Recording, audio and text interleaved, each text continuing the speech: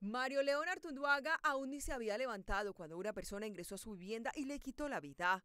Al momento de la inspección judicial, el hombre de 62 años aún tenía puesta su pijama, lo que entrega pistas a los investigadores sobre la hora del crimen.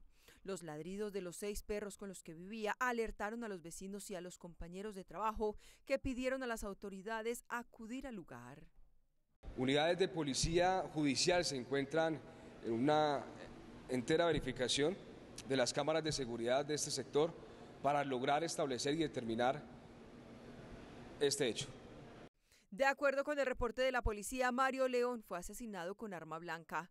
La gerente de diversidad rechazó el homicidio de este docente pensionado de ciencias forenses del CTI e integrante de la población LGTBIQ.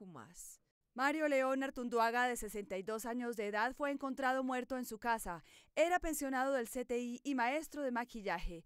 Lamentamos su muerte y enviamos un abrazo a sus amigos y familiares. Seguimos articulando todas las instituciones para esclarecer estos hechos. El distrito de Medellín y la policía ofrecen recompensas de hasta 200 millones de pesos para quien entregue información que permita capturar y judicializar a los responsables de feminicidios y homicidios de personas LGTBIQ.